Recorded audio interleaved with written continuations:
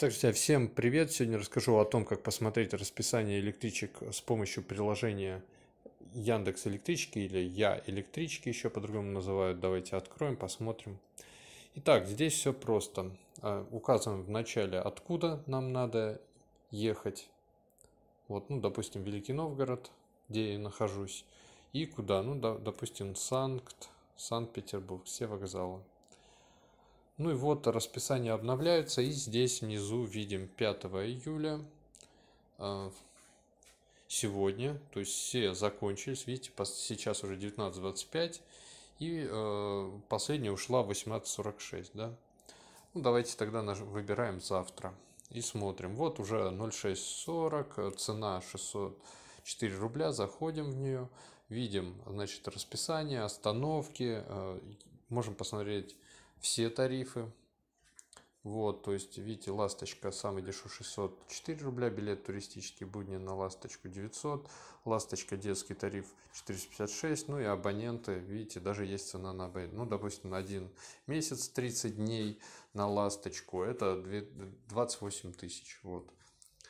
То есть, если вы 30 дней ездите туда-обратно, ну, допустим, да, посчитаем, ласточка 600, 1200 рублей в день, да, и умножить на 30, действительно это выгодно. 1200 умножить на 30, получается 36 тысяч, а так вы будете платить 28 тысяч. Причем, я так понимаю, что вы можете ездить гораздо чаще, чем, а, значит, туда-обратно каждый день.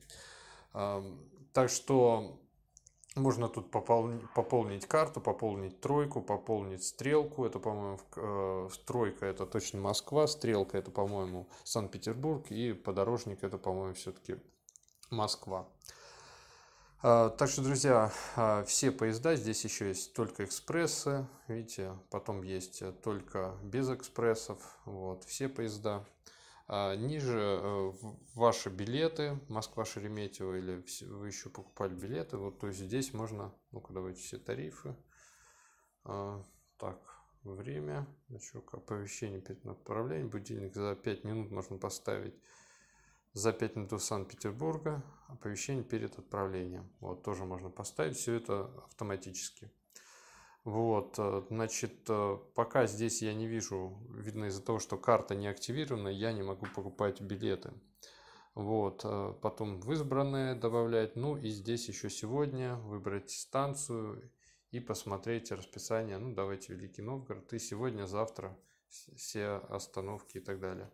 Ну и в настройке пригородная зона количество дней, два примерно, можно добавить здесь Понимаете, то есть э, там всего два дня показывается, показывать остановки можно добавить, показывать номера поездов, фильтр поездов и те, э, темная тема. Ну, естественно, всем нравится темная тема, поэтому я ее сейчас включил и рекомендую всегда темную тему, потому что она экономит ваш э, ваш заряд и выглядит круто.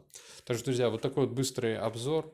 Э, надеюсь, вам видео было полезно. Ссылочка будет на приложение, как всегда, в описании. Всего доброго, всем пока, до свидания.